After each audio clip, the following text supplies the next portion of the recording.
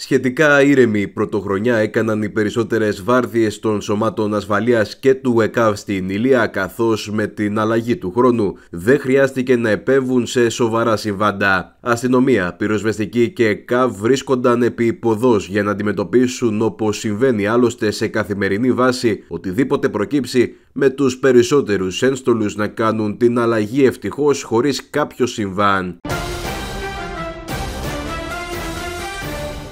Στην πυροσβεστική υπηρεσία Ηλία σε Πύργο και Αμαλιάδα η βραδιά άνοιξε με τα χρόνια πολλά και ευχές για την πρωτοχρονιά με τις βάρδιες που βρίσκονταν στις επάλξεις να περνούν μια ήρεμη βραδιά καθώς σε καμία υπηρεσία δεν χτύπησε το τηλέφωνο για κάποιο συμβάν. Ωστόσο, κάπως διαφορετικά ήταν τα πράγματα για την πυροσβεστική υπηρεσία των Λεχενών, προσωπικό της οποίας χρειάστηκε να επέμβει σε πυρκαγιά που ξέσπασε μια περίπου ώρα μετά τις 12 τα μεσάνυχτα σε θερμοκηπιακές καλλιέργειες στην Απεδεώνα από φωτοβολίδα.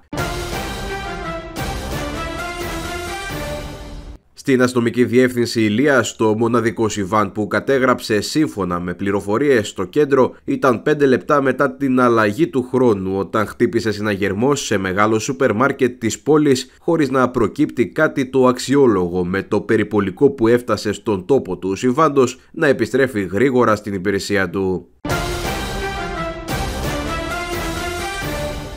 Όσο για το ΕΚΑΒ Βιλίας, μισή ώρα μετά τα μεσάνυχτα κατεγράφει τηλεφώνημα στο κέντρο του 166 για διακομιδή καρδιολογικού περιστατικού από αμαλιάδα για πύργο το οποίο, σύμφωνα με πηγές, δεν εκτιλέστηκε λόγω άρνησης του παθόντα, ενώ το αμέσως επόμενο συμβάν που χρειάστηκε να επέμβει το πλήρωμα του ΕΚΑΒ στον πύργο ήταν όταν μια νεαρή έγκυος χρειάστηκε να μεταφερθεί από τον πύργο στο νοσοκομείο της πόλης εξαιτίας κάποιων επιπλοκών.